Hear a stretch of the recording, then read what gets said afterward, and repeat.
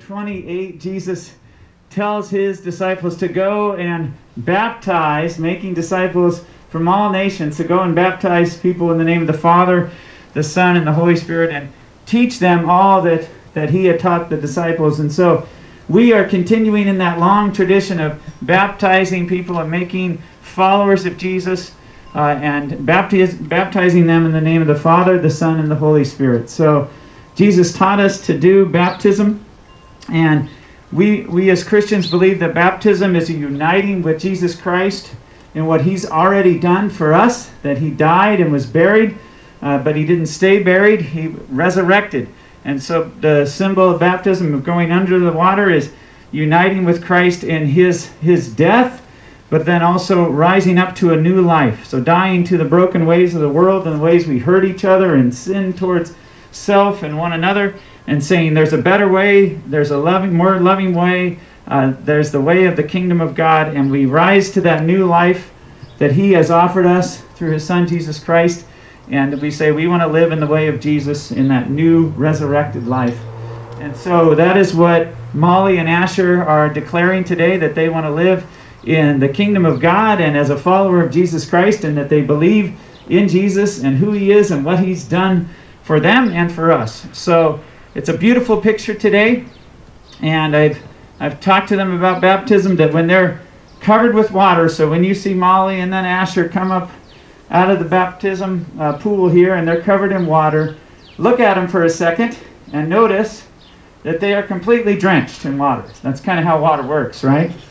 Uh, but that's also how the love of God works all the time. You are completely covered in the love of God. Some days we don't remember it or feel it, but you are. And so may, may the baptisms today remind you of what is true about our God always, and may they remind you about your baptism, that you have been covered by the love of God, and you're identified uh, by God as a loved child. Okay? I want to invite now Asher and Asher's dad Tim into the pool. And it's warm, Asher, so yeah, take it off there, but just the shirt. All right. Yeah, just the shirt.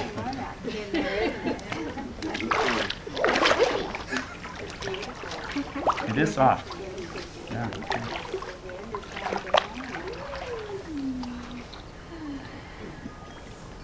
You ready? well, it's pretty simple. You just have to uh, do just like what Miss Molly did, okay? So what's your name? Asher Sievers.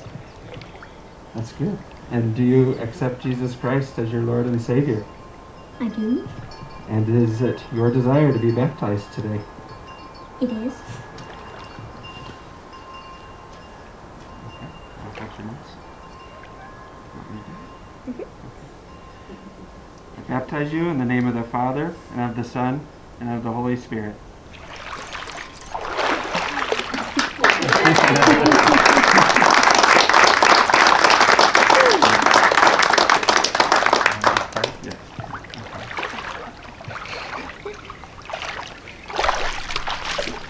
Well, let's uh, give thanks again through prayer. Would you pray with me? Oh God, we thank you for Molly and Asher. We thank you for your work in their lives. We thank you for your great love for them, your great love for us, and the desire you put in their hearts to follow after you and seek after you.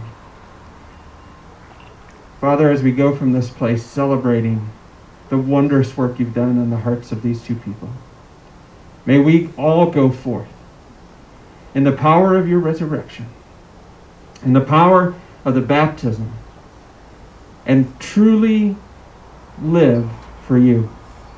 And we pray these things in the name of Jesus Christ, our Lord and Savior. Amen. Amen. I love those wind chimes. Can you hear the wind chimes? Yeah. And in the New Testament, the word for spirit and the word for wind is the same word. And so I'm thinking that the, the wind of the Spirit may be blowing in someone else's life uh, today or in the coming days. And if you or, or someone you're talking with wants to be baptized, well, this pool is closing soon, but we can find another place uh, to be baptized. Uh, and so if if you are having that wind blow in your heart, we would love to know and, and to work out a way for someone else to be to be baptized. But perhaps you were baptized many, many years ago. Well, the Spirit still blows a fresh wind into this world. No matter what is going on in our culture and in politics and all of that, uh, God is still working and doing good, and He can bring you a refreshing uh, new breath to your life. And so believe that and remember that God loves you, and God is good, and God is with you. May you be blessed. Thank you for being here today. Amen. Hello, I'm Pastor Corey, and welcome to worship. We're glad you could join us, however you're doing it, by radio or by uh, internet, whether it's YouTube or Facebook. We're glad you're here. Uh, drop drop a comment uh, online if you can. Let your online greeter know you're there. The online greeters are great uh, volunteers, and they're here to help you. Uh, so if you have a question or you make a decision during the service, uh, they're there to communicate with you. So. We're glad to be here, uh, and we're going to take two minutes now to see if someone else would like to join us. So maybe there's someone who could be here with you online or in person. Call somebody in uh, from the other room to come and experience worship with you. Uh, share this online, send a text to somebody. Take the next two minutes and share this experience with someone else.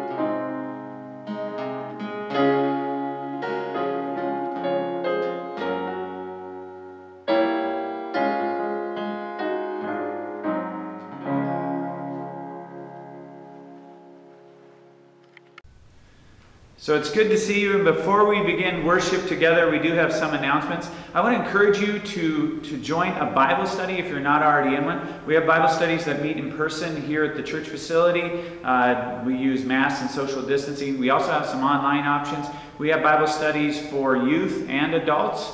We have them in the day and in the evening. So contact the church for more information, or you can email me, Corey at palousechurch.org, uh, and we can connect you with a Bible study.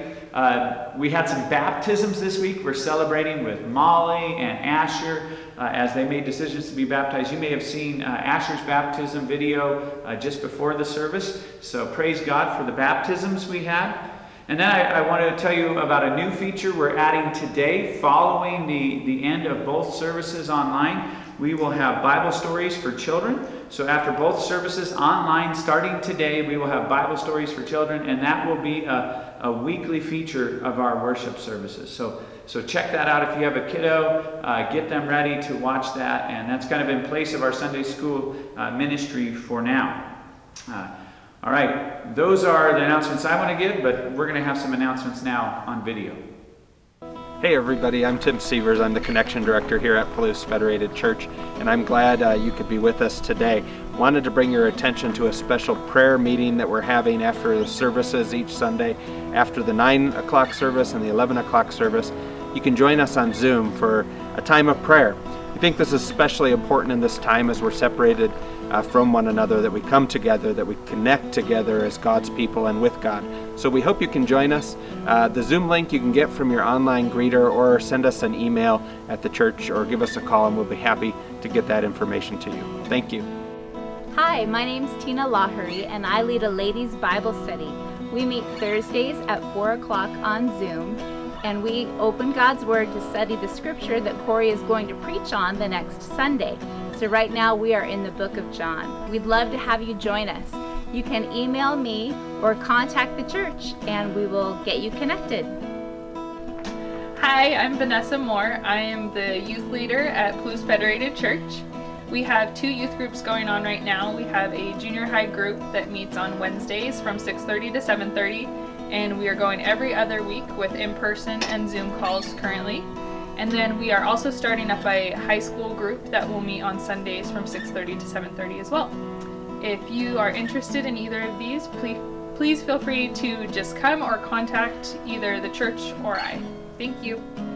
Hi, it's Pastor Corey, and I wanted to invite you to the Bible studies that I lead.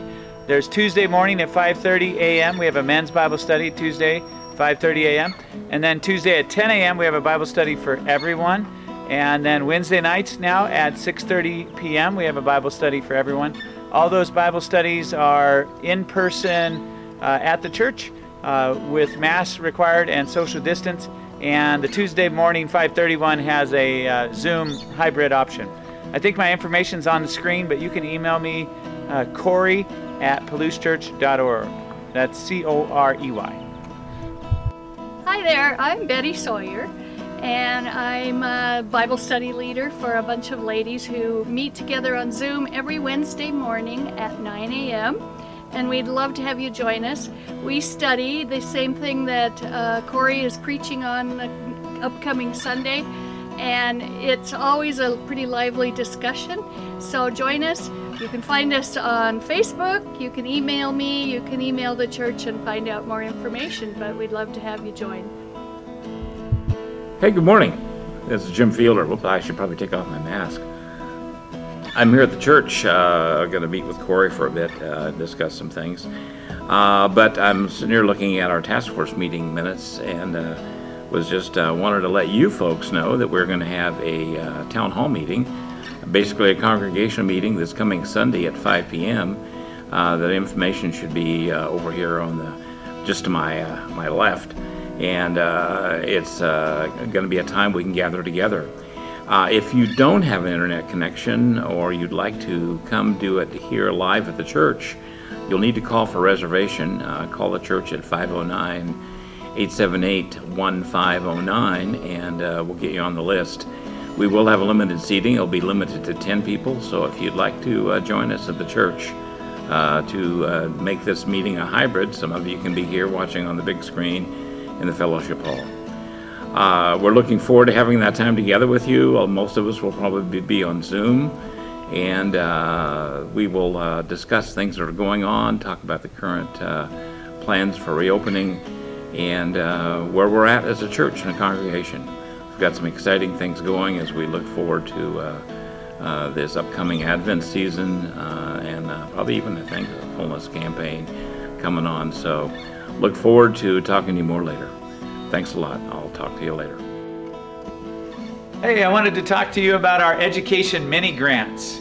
We are offering $100 for any teacher, teacher's aide, uh, student, parent that needs something for uh, for education in this pandemic season and strange season we find ourselves in. So if you're out there and you could use uh, maybe new headphones or a uh, USB drive or $100 worth of childcare, hey, all you got to do for this grant, it, it's pretty easy to win a grant. So you go onto our online link and it's a real short form. You tell us why you need some funds that would help with your education or your students' education, your kids' education, and then we will probably say yes. We'll cut you a check, and then you tell us how it went. Send us a picture of what you purchased or what you did with the $100, or it could be $50, $25, up to $100. So that's the Education Mini Grants, and we hope you would take advantage of it.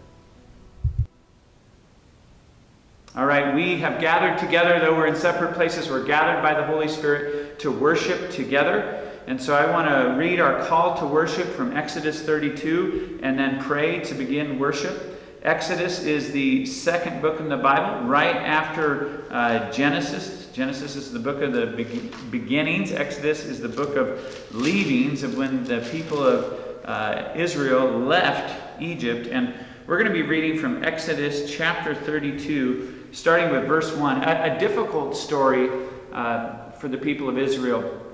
It's about the golden calf. Exodus 32, starting with verse 1.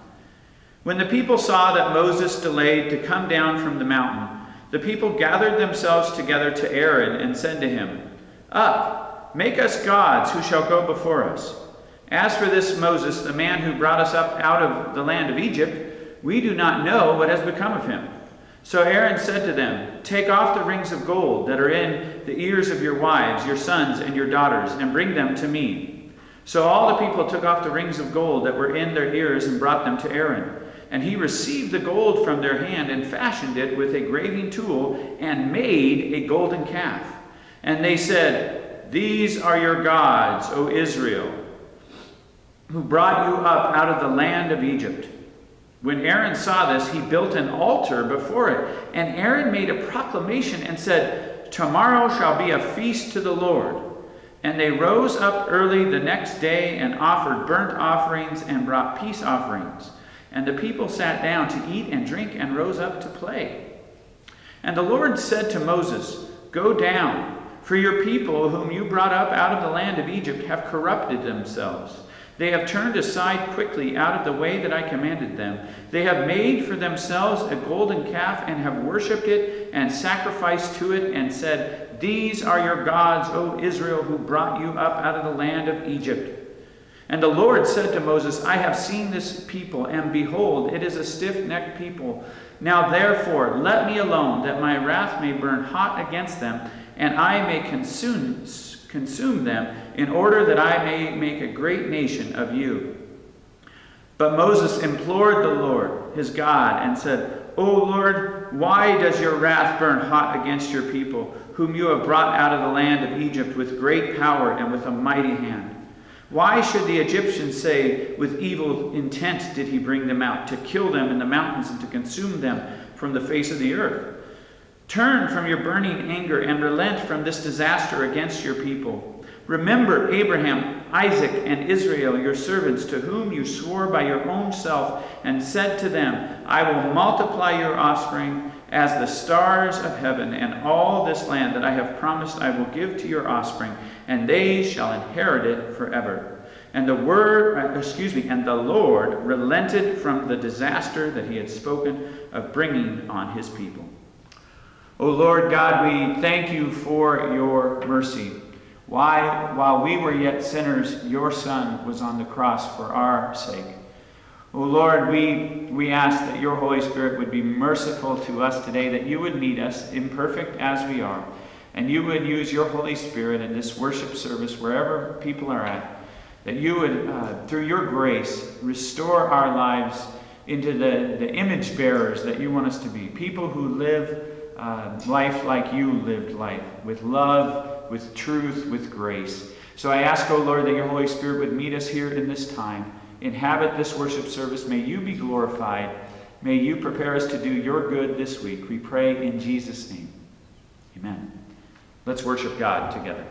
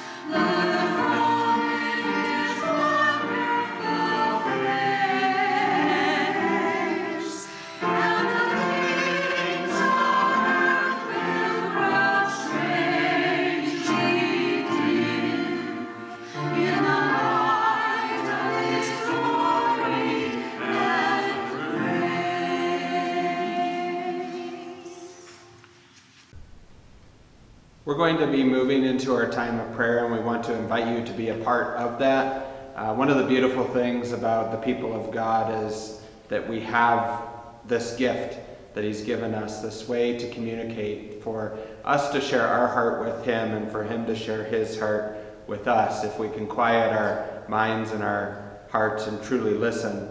And so, as we move into this time of prayer, I want to invite you to do just that to quiet your heart quiet your mind, and listen for God to speak to you. We're going to start by praying together the Lord's Prayer, and then I'll lead us in our congregational prayer. Would you pray with me as our Lord Jesus taught us to pray? Our Father, who art in heaven, hallowed be thy name. Thy kingdom come, thy will be done, on earth as it is in heaven. Give us this day our daily bread, and forgive us our trespasses, as we forgive those who trespass against us. And lead us not into temptation, but deliver us from evil. For thine is the kingdom, and the power, and the glory forever. Amen.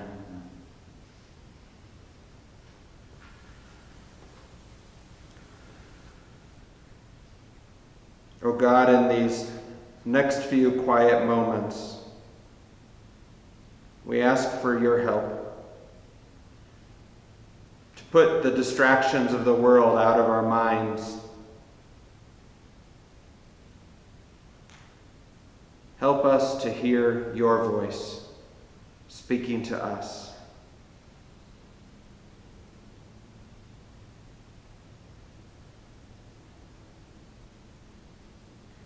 O God, we pray for the needs of our world, that all our community might know what is God and what is Caesar's, and may have the courage so to live. That as the Lord guided Israel, God would guide our country, its leaders and its citizens. We pray especially for our president and our Congress, for our governor and legislature, for our mayor and city council. We pray, O oh God, in these difficult days that you would guide them, that they could discern your will and your direction and what is good and right for all of us. We pray, O God, that justice and peace will be signs of our trust in you. We pray for the church that in the spirit of Paul we might preach the gospel not merely in words but in the mighty power of the Holy Spirit.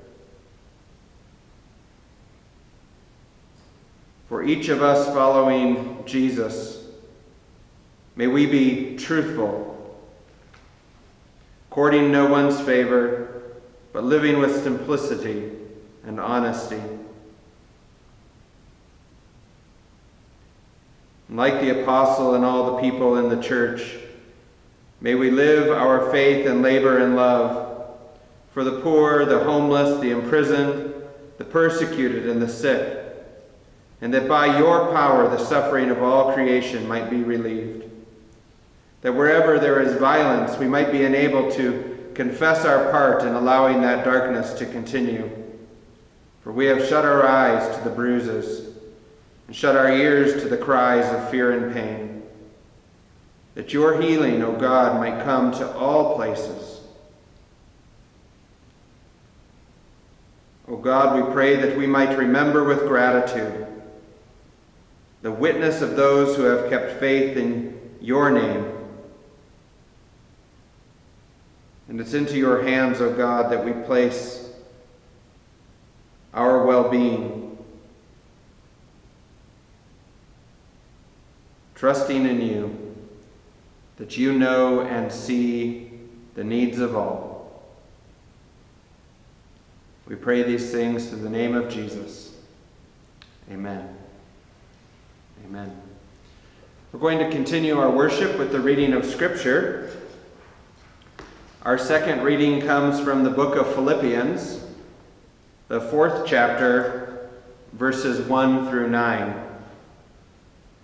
Therefore, my brothers, whom I love and long for, my joy and crown, stand firm thus in the Lord, my beloved. I entreat Euodia and I entreat Syntyche to agree in the Lord. Yes, I ask you also, true companion, help these women who have labored side by side with me in the gospel, together with Clement and the rest of my fellow workers, whose names are in the book of life. Rejoice in the Lord always. Again, I will say, rejoice. Let your reasonableness be known to everyone. The Lord is at hand. Do not be anxious about anything, but in everything, by prayer and supplication, with thanksgiving, let your requests be made known to God. And the peace of God, which surpasses all understanding, will guard your hearts and your minds in Christ Jesus. Finally, brothers, whatever is true, whatever is honorable, whatever is just, whatever is pure, whatever is lovely, whatever is commendable, if there is any excellence, if there is anything worthy of praise, think about these things. What you have learned and received and heard and seen in me, practice these things, and the God of peace will be with you.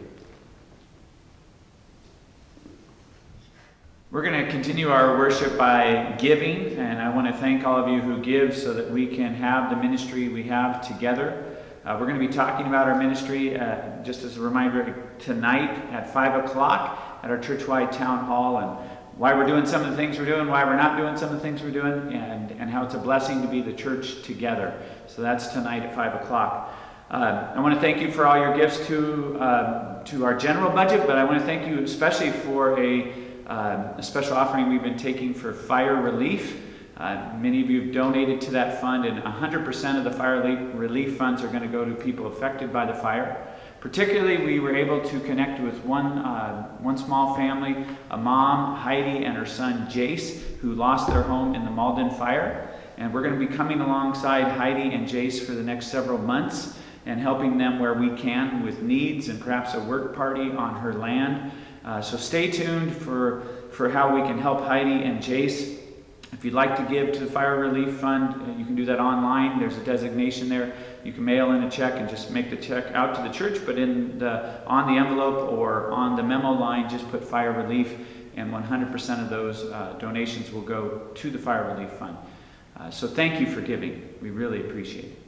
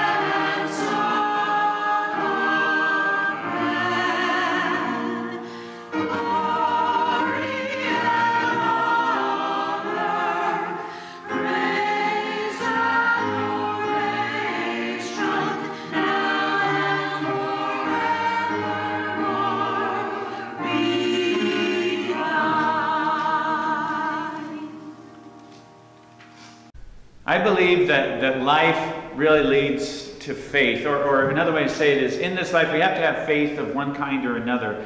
And so I, I want to throw a question out to you. What miracle, what, what miracle are you believing in? And I want to give you three options.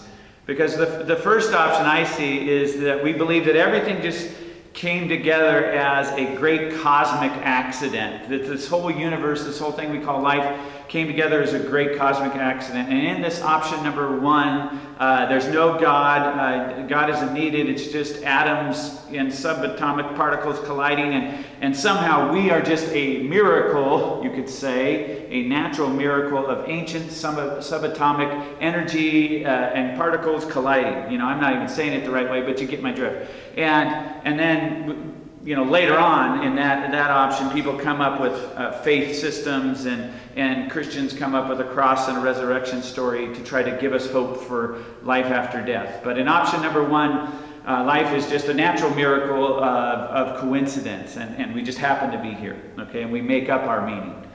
Do we believe that?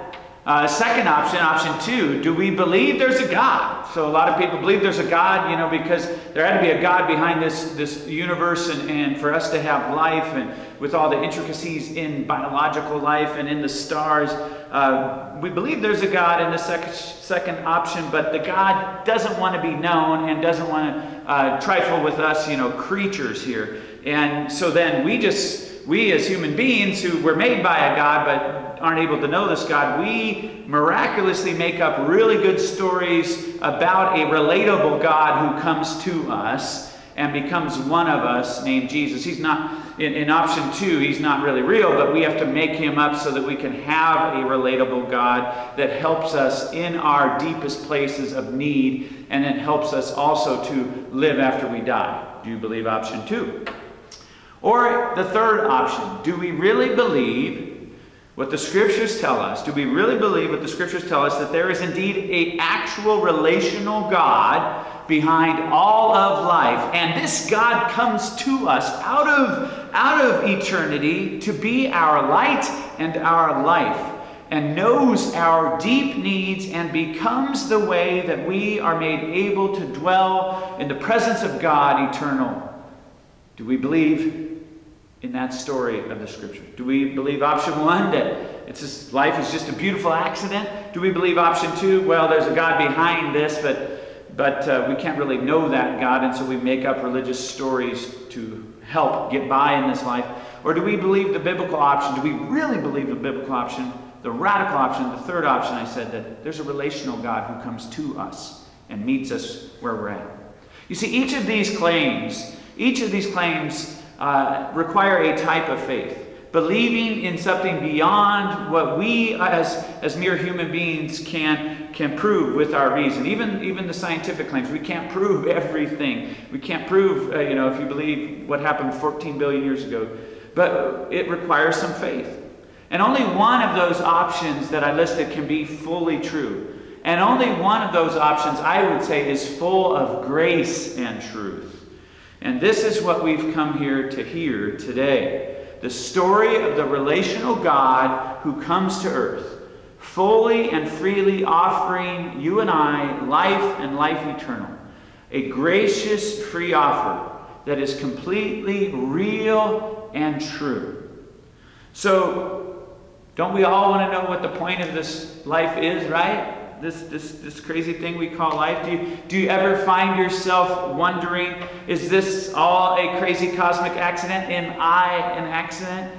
Maybe a tragedy in your life or difficulties in this world recently have got you wondering, is there really a loving, relational God behind all of this? There's so much difficulty the pain and pain in the world. Is there really a loving, gracious God behind it all? Well, yeah, I believe it. I believe that there's a God behind it all who came to us, and God is most clearly known and revealed through Jesus Christ. And if this is true, if this is true, that claim that God can be known and He is most fully known through Jesus Christ, this is very, very good news. So be encouraged, friends. Life is no accident, the universe is not chaos, and behind all of life is grace and truth. Let's pray. Lord, may the words of my mouth and the meditations of all of our hearts, may they be pleasing and acceptable in your sight, O Lord. For you are truly our rock and our redeemer. You alone should we rightly fear. You alone should we fully follow. And you alone should our life be founded upon. May your Holy Spirit work through uh, the words that I say today, Lord. May you touch the people where, where they need it, and may you lead us to, to be your people who live in grace and truth. I pray in Jesus' name. Amen. Amen. We're going to be in the Gospel of John, chapter 1, starting with verse 14. It says this And the Word became flesh and dwelt among us, and we have seen his glory glory as of the only Son from the Father, full of grace and truth. John bore witness about him and cried out, This was he of whom I said, He who comes after me ranks before me, because he was before me. For from his fullness we have all received grace upon grace. For the law was given through Moses, grace and truth came through Jesus Christ.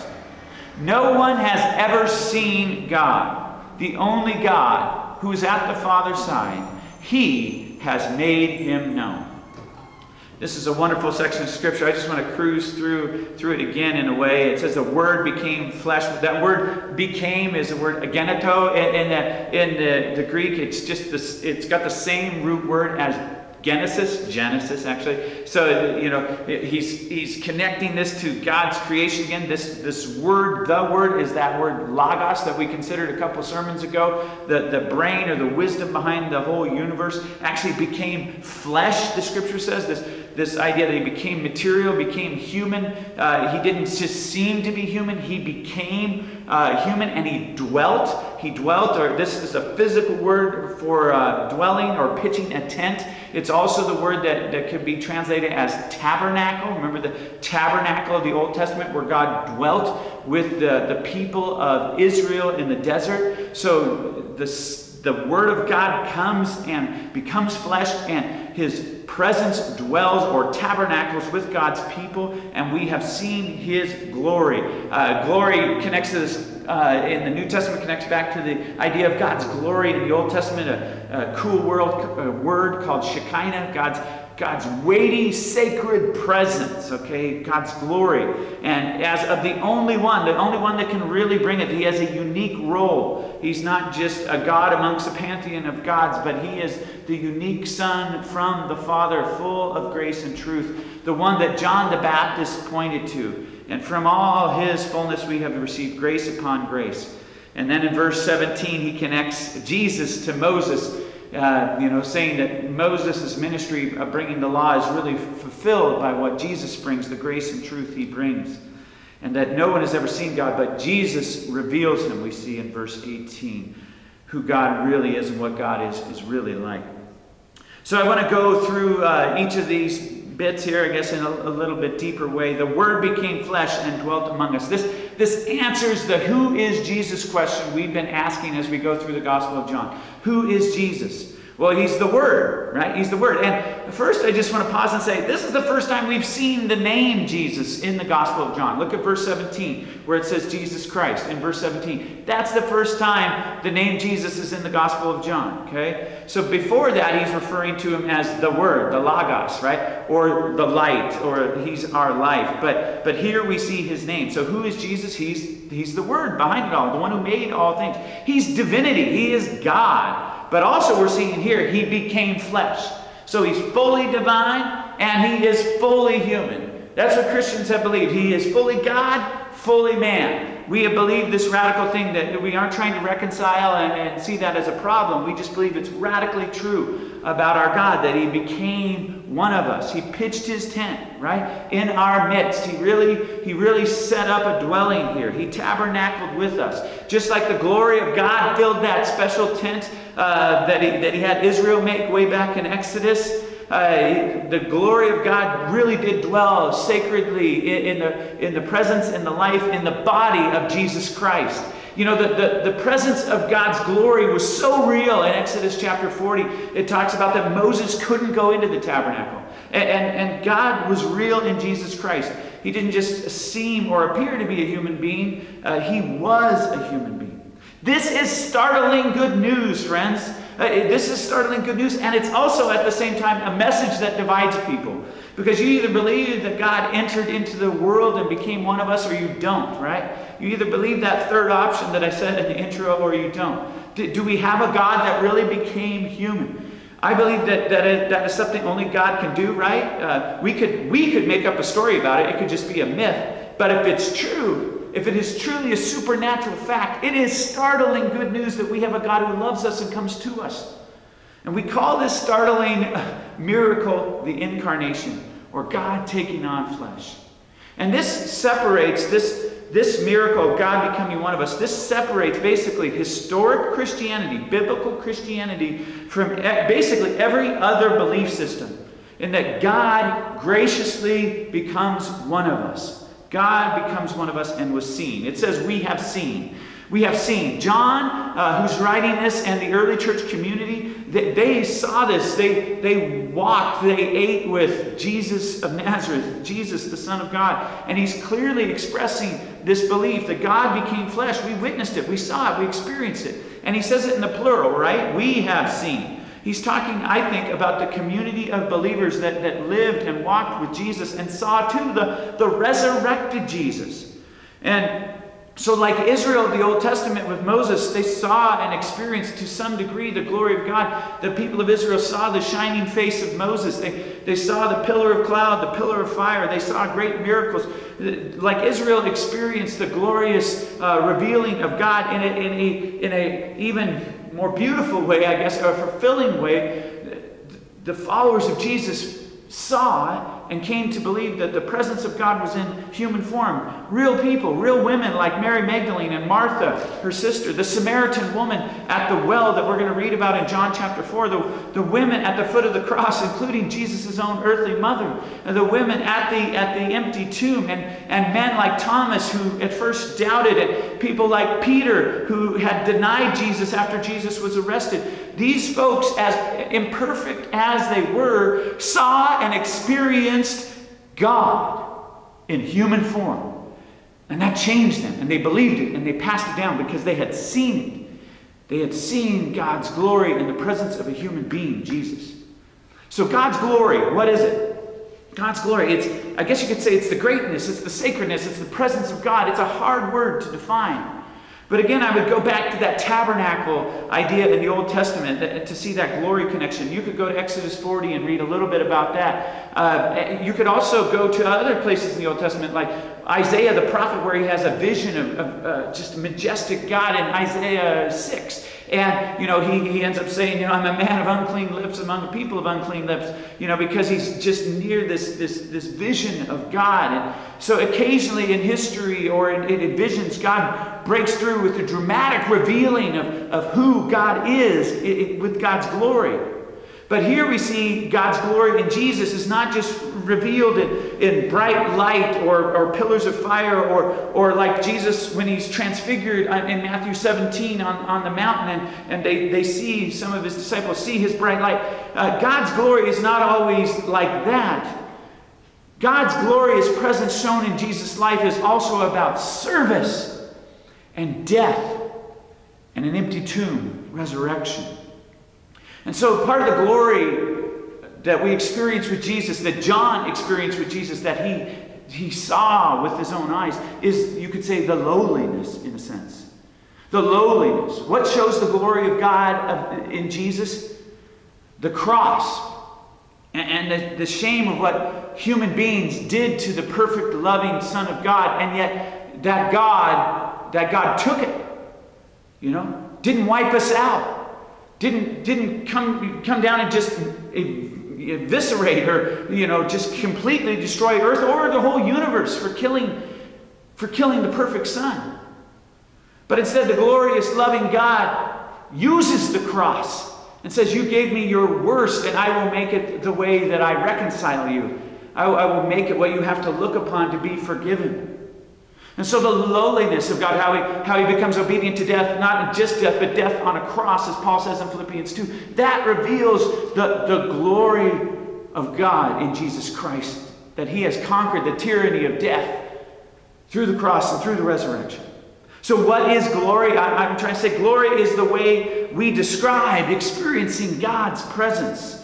We, we often attach it to praise because when we're praising God, we're admitting His goodness and His presence. Even you can see uh, in, in the traditional song we sing at the end of the nine o'clock service, the doxology. D O X is the start of doxology, right? In the Greek, the word for the root word for uh, for glory is doxa. You know, it's connected to a word for praise. Praise.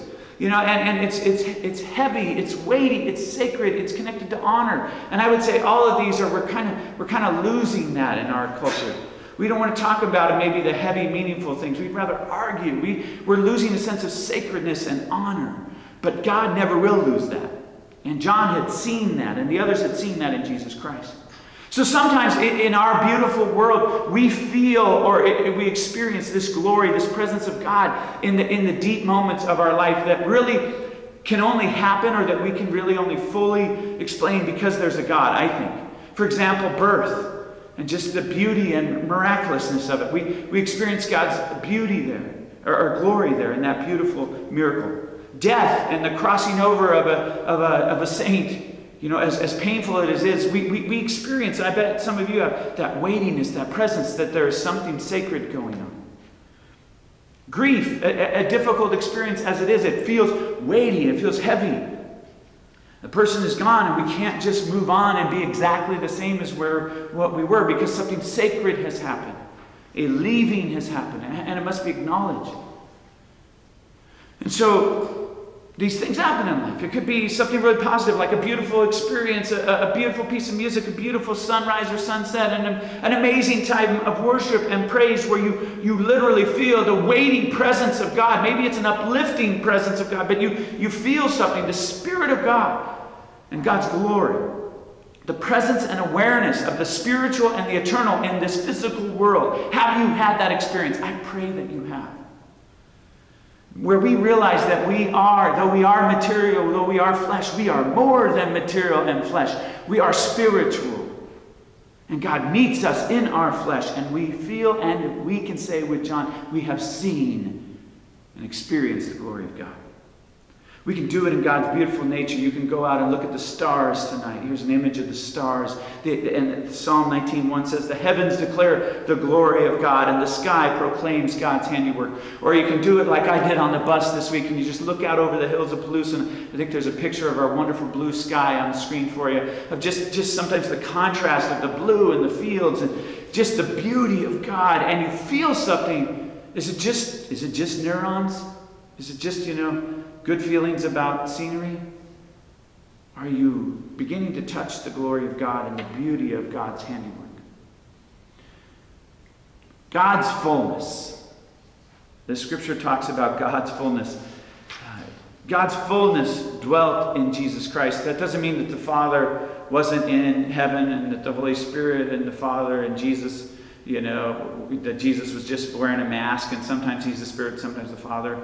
When it talks about his fullness, it's, it, it's saying that he is fully God. It, that doesn't deny that the Father is also God and the Holy Spirit is God. Father, Son, and Holy Spirit are one God. But from God's fullness in Jesus, it's saying we are given what we need, the grace and truth that we need.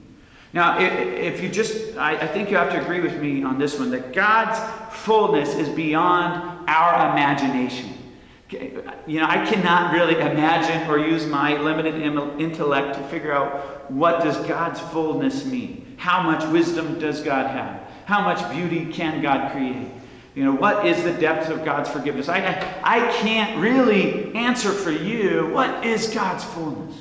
But I can tell you out of God's fullness, out of the depth of God's goodness, ma- the massive love God has for us, God sent his son, Jesus, for us.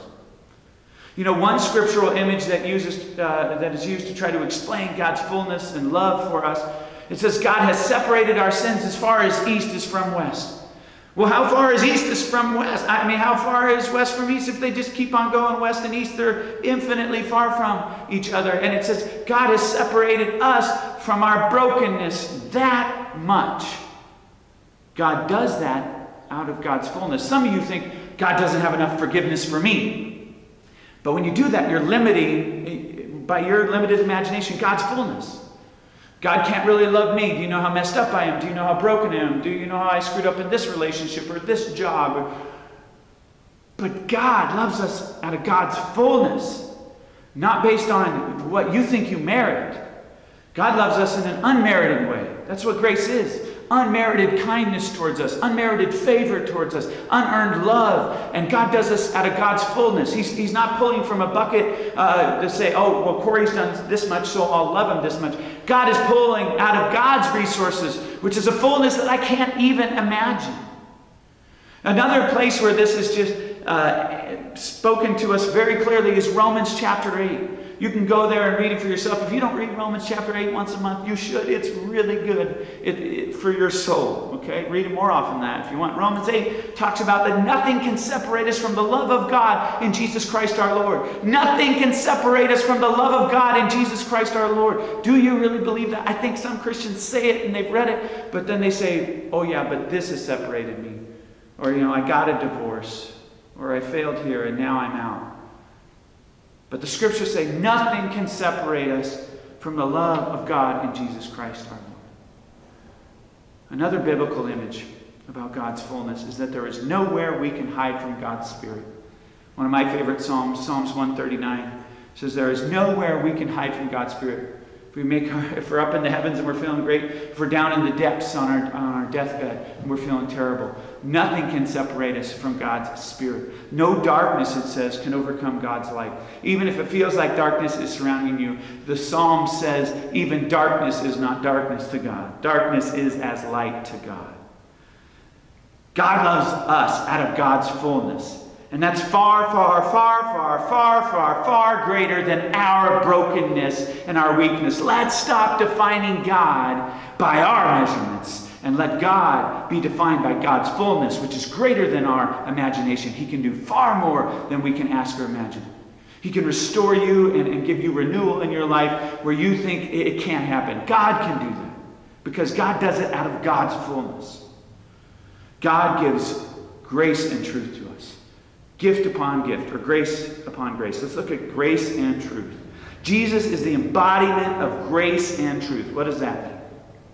Well, as I said earlier, grace is unearned kindness, unmerited favor, freely given love to us.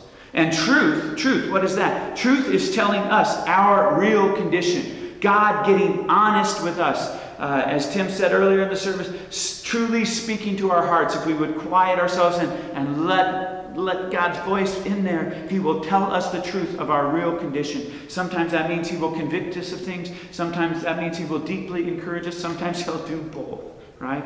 He tells us our real identity and our real needs. So many people are searching in this world to make up their own identity. And identity is a big issue in our culture today. But the best way to get your identity is to receive your identity from God and to be the image bearer that you were created to be. To let God restore your brokenness so you can bear the image of God in your life and love others and love God, right? That's who you were created to be. And God wants to graciously do that to you. He wants to freely restore everything that's broken about you and I.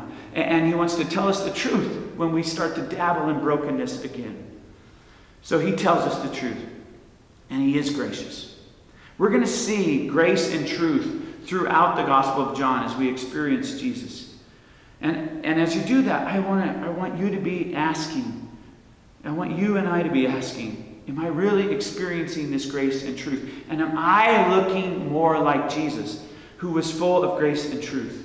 Am I allowing the Spirit of God, the Holy Spirit of God, to reshape, renew, reform me to be a person who is more filled with grace and truth? Because our goal, friends, isn't to just become better Christians and members of an organization and do more churchy stuff. Our goal is to reflect more and more of the image of God, more and more of the fullness of God in our life. And the Spirit can do that in you. That's what you were created for. To have a relationship with a relational God who can reflect God's goodness out of your life. So, are you on that journey of having more grace and truth in your life? More unearned love flowing out of your heart to others, more loving, kind truth being shared to others that will bless and encourage others. It happens in real life. It happens in real life for us. For you and I, the way Jesus does it, does it for me and, and for you, hopefully, is he, he's, he says, I, I want to assure you that you're forgiven. You've done something, you know, this week, maybe you think, oh, it's the hundredth time I've done that. I was short with my kids or whatever. You think, this time it's unforgivable. But he's full of grace and truth. He'll tell you the truth. Yeah, you shouldn't have done that. But I, I, I want to renew you and lead you in a better way. It, it's the message of love from Jesus when you feel spiritually ugly, when you feel unlovable. Maybe not from something you've done, but from what other people have said. But Jesus is full of grace and truth, and his identity says for you is that you are a loved child.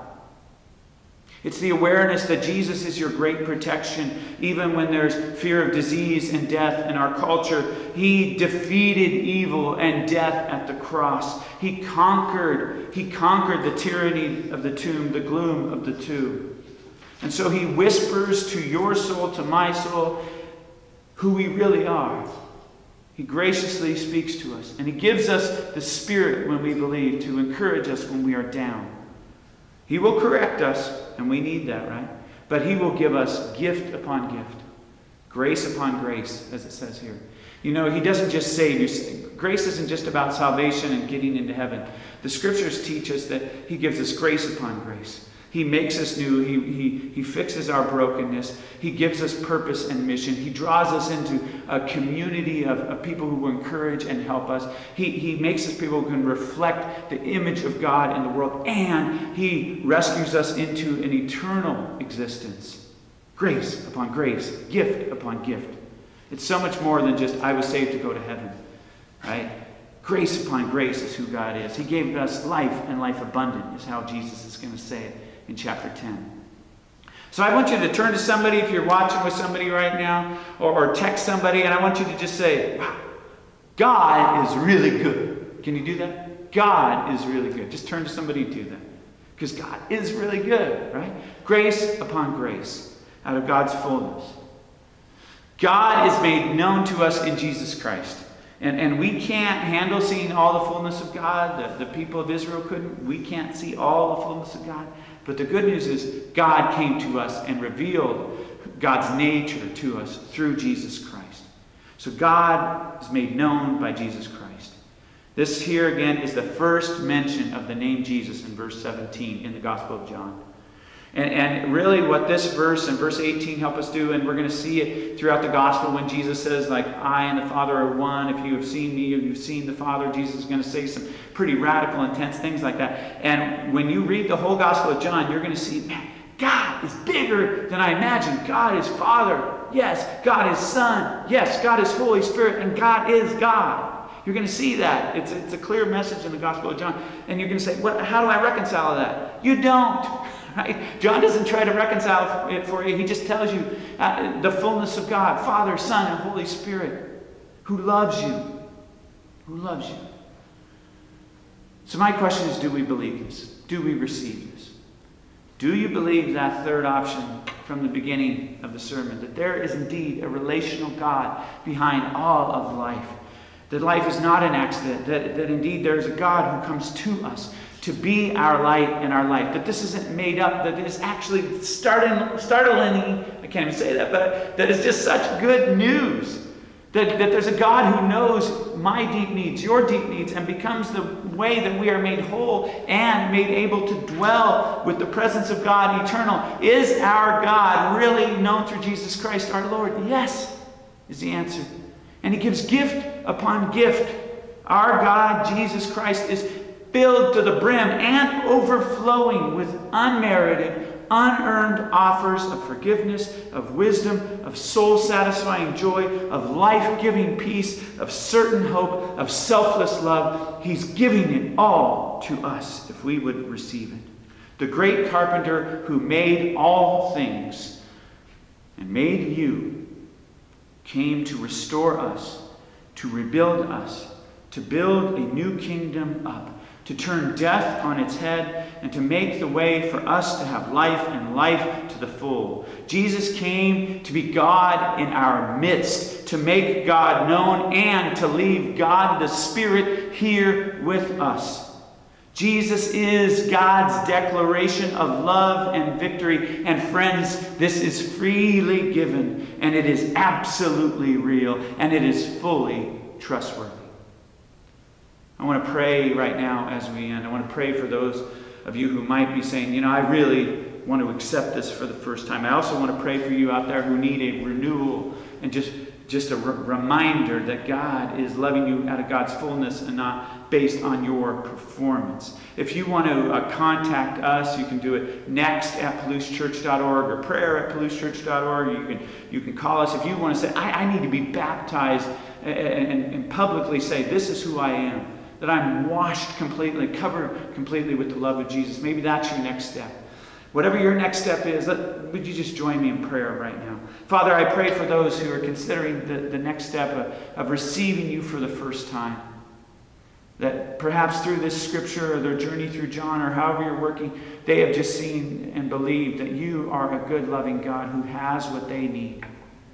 That life is not an accident. Life is, is, is not meaningless. That, that you are the one who gives us life and meaning and purpose and hope.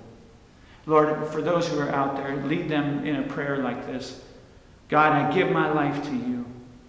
You have made me. You sent your Son for me. And I receive the, the grace and the truth he has for me. Lead me into new life.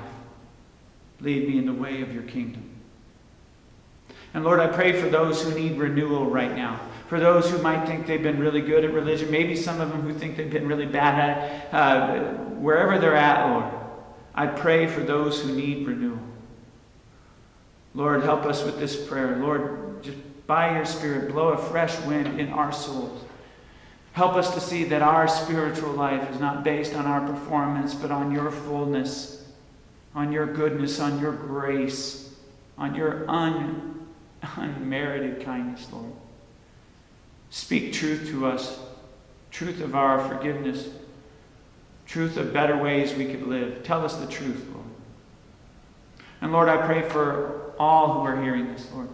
I pray that we would go on the journey of looking more like you each day, full of grace and truth, Lord. I grieve that that is not how the church is often described now. I grieve that we as Christians are, are not often described as people who are full of grace and truth. I grieve that our culture is not full of kindness or even basic civility often. Oh Lord, would your Holy Spirit work in me, in us, and make us more like your Son, full of true kindness, true compassion, true graciousness. And I pray this all in Jesus' name. Amen. Amen. Thanks be to God for his word.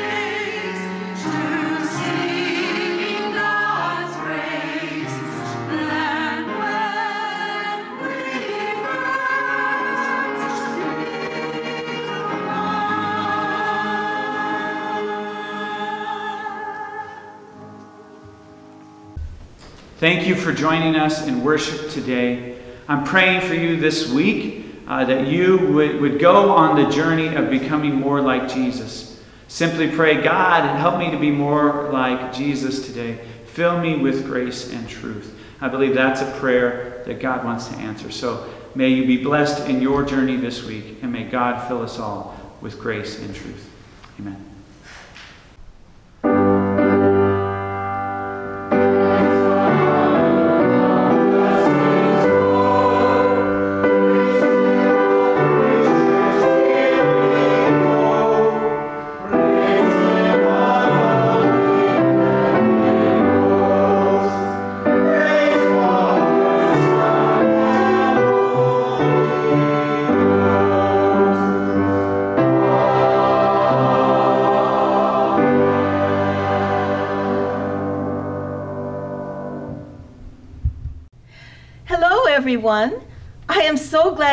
Today and to share a story with you from God's book, the Bible.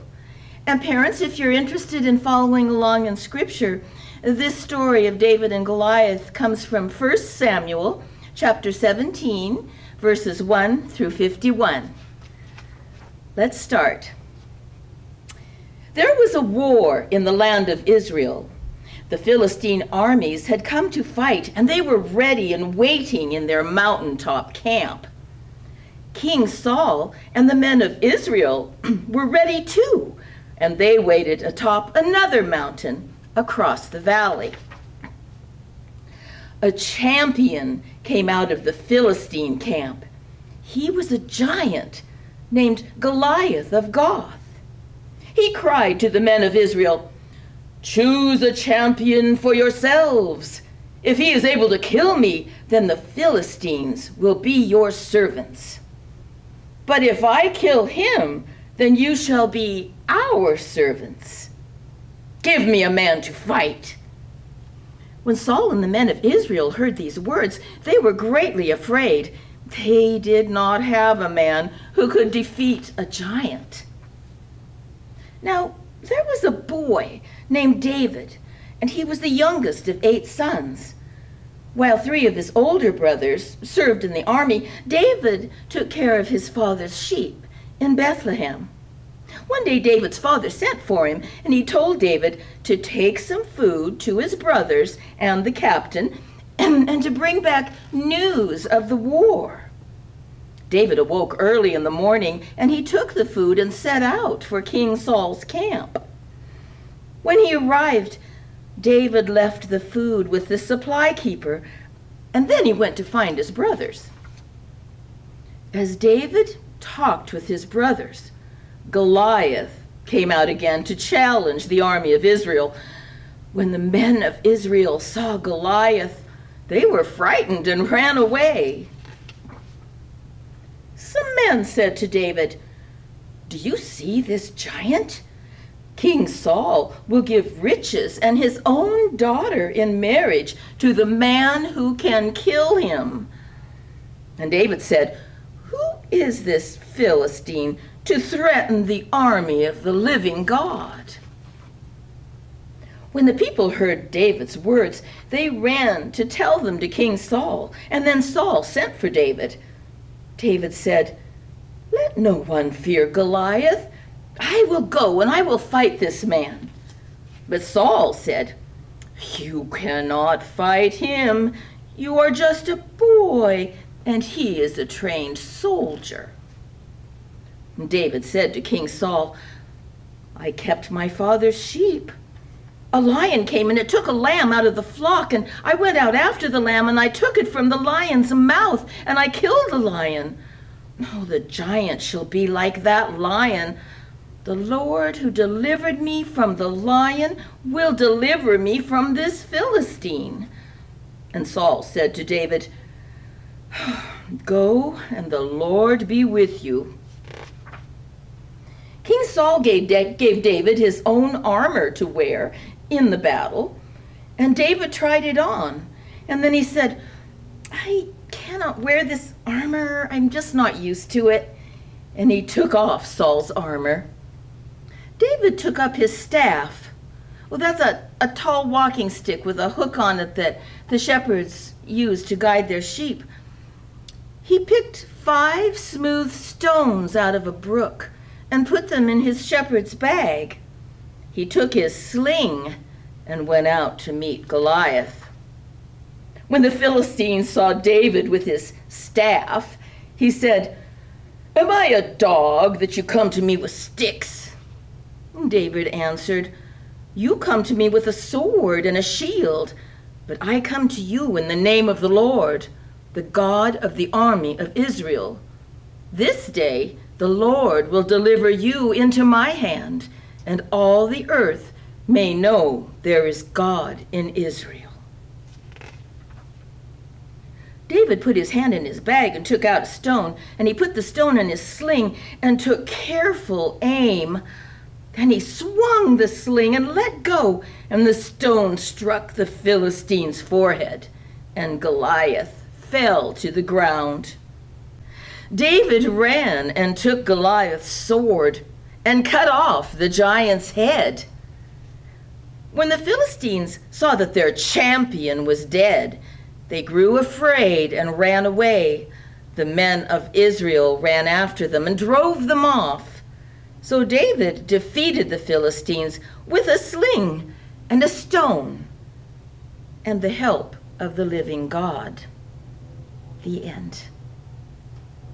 Will you join me in a prayer? Dear Lord, Thank you for this time together today to hear your word through a story that tells us things about our lives, about trusting in God when times get hard and we don't know if if we have the strength to do what needs to be done. God wants us to trust in him as David did. Let's let that be part of our lives. I just ask God to bless all of you and all of your families, and I can't wait to see you again. Bye bye.